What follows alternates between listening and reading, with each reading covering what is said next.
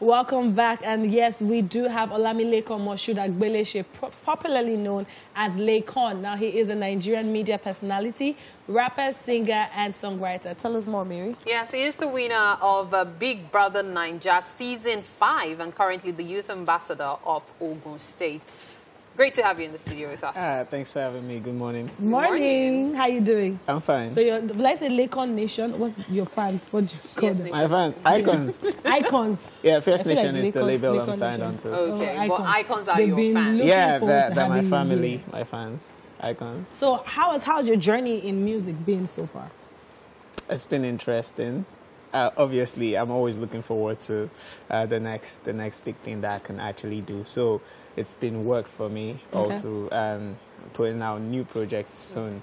So for me, music has been fun lately. It's been interesting. It's been uh, actually I'm just enjoying it. Basically. Yeah. Now you know you you had been in the industry for about. Um, professionally for about three years before you went into the Big Brother house. Four. Four. Yeah. oh, Let's say professionally, yes. I put out my first ever song mm -hmm. in 2012. Wow, that's like yeah. That was when I started. That was that was when I started recording, recording. Oh, okay. But let's say, yeah, if we're going to look at it that way, because yes, uh, let's say 2016. That was when I put out my first EP, Young Black and Gifted. Okay. Yeah. Okay. So before BB Naija, what was it like for you as an artist? What was the struggle really like, and mm -hmm. how has it been since BB Naija? I feel the the difference is now I've got like a larger audience and okay. there's a whole lot of expectations now. Yeah. But they've they've always been expectations because I feel like there's a standard you have to know that you you need as a, as an artist, regardless of whether you're up or you're mm. not there yet. Mm.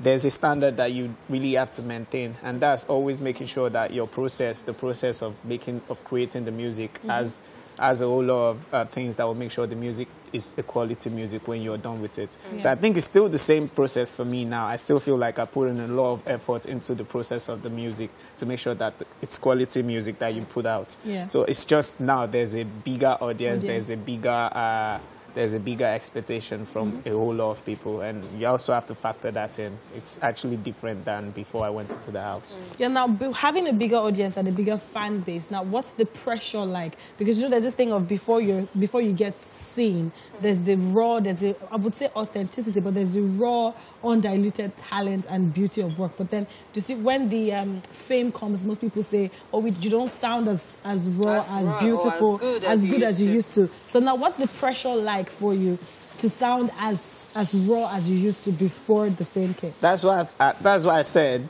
before this moment, mm -hmm. it's always been the process that I put a whole lot of energy into.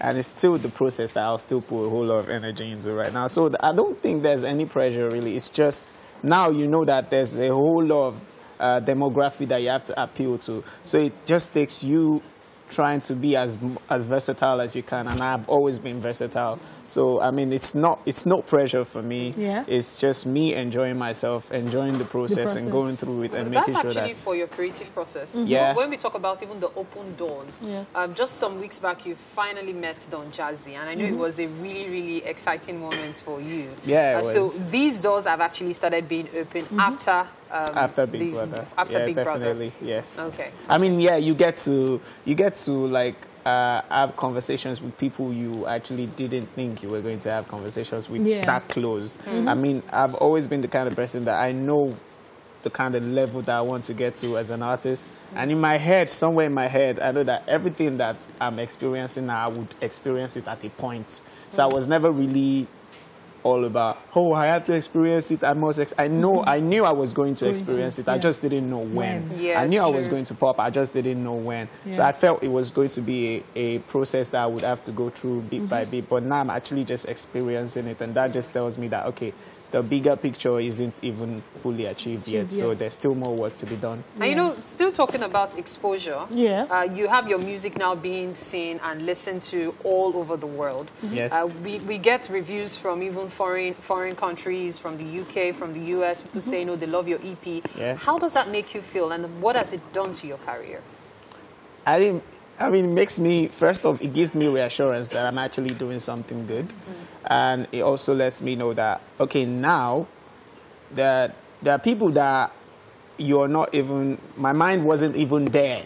Like your mind is there on the long term, but at that Not moment, um, yeah, Yeah. my mind wasn't even there while I was creating the music. But now it's still the same thing. It just lets me know that, dude, there's there's like bigger people looking at you now. There's like different people looking at you now. So you need to like just keep making sure that it's 100% every time you do it. Or if you can get 200% from anywhere else, try and add it up to whatever it is you have and try and do better than you're doing already. Hmm. So everything is basically a motivation for me, hmm. even criticism. Hmm. Okay. Now, still on your music, um, with you being very commercial now and having a large audience, do you feel the pressure to move from where you are at your genre to trying or exploring other types of sound? I mean, if you listen, if you listen to YBAG in 2016, there's elements of different type of sounds in it. Yeah. Then there was, there were two EPs that I was really intentional about them, and I knew I was just going to rap and not do anything else other than rap. But still, there was still a bit of different elements in it, and that's the. I'm talking about that your reality become- show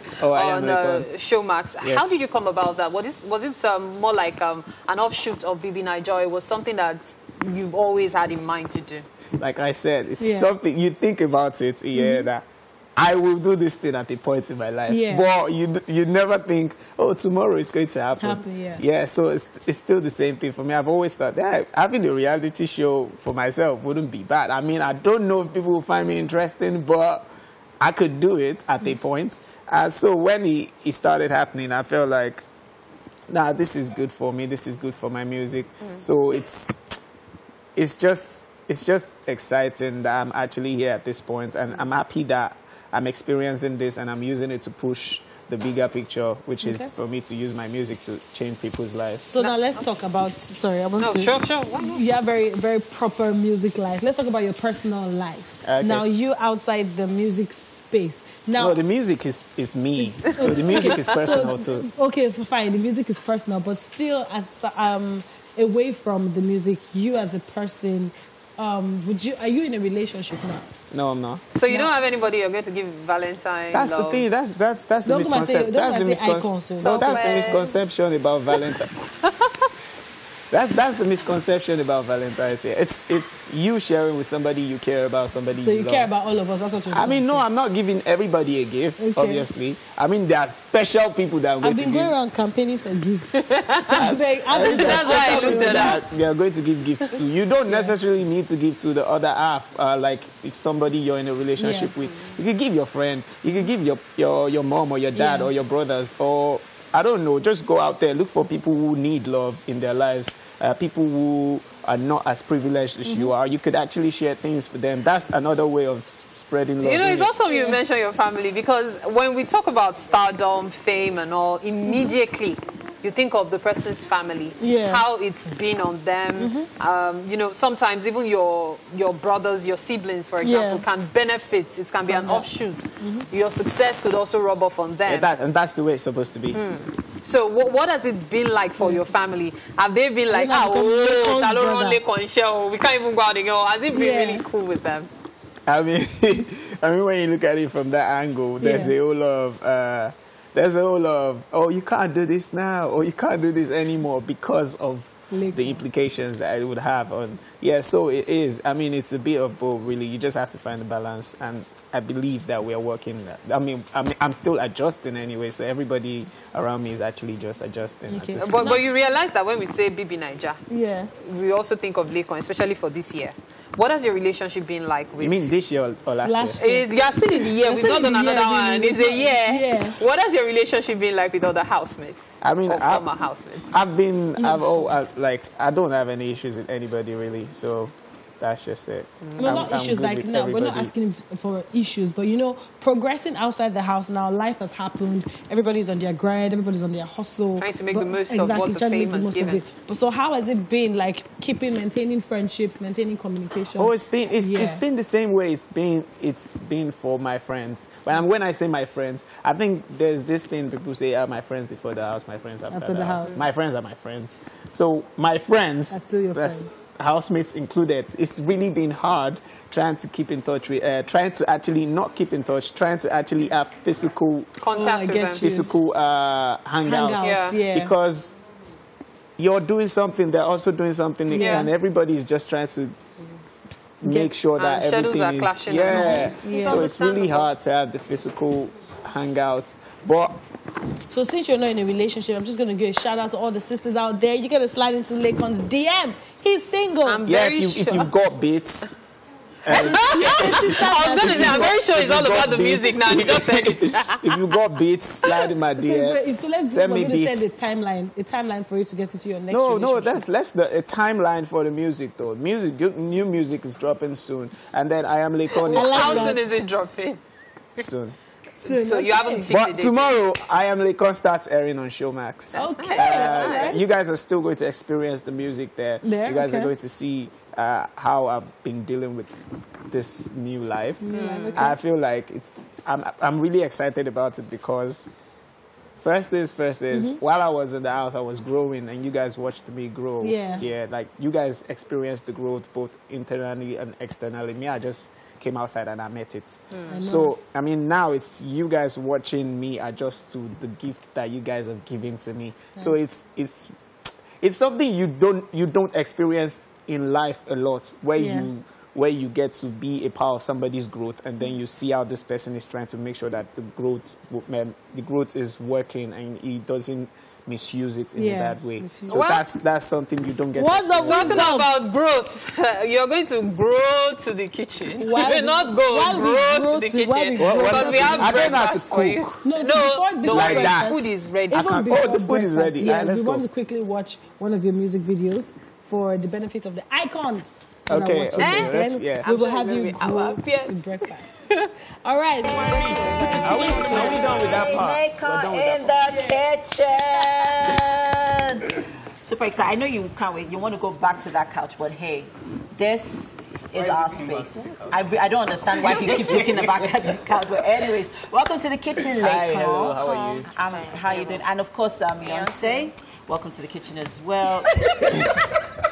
this is like a fight for supremacy.